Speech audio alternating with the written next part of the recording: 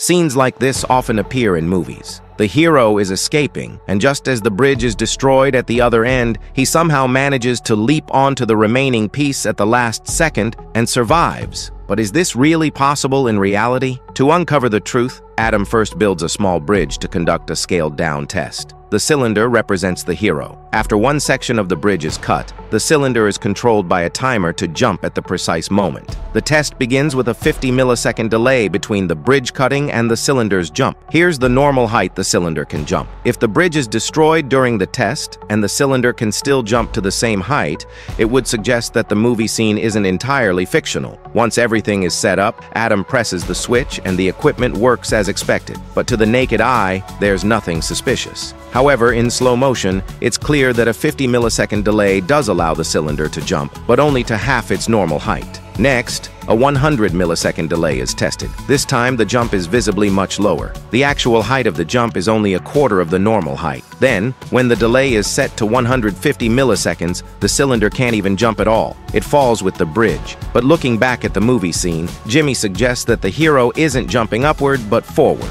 So they adjust the angle and test three more times. The results are indeed better than jumping straight up. Even with a 150 millisecond delay, the cylinder barely makes it to the safe zone. So now they are preparing to conduct a real-life test.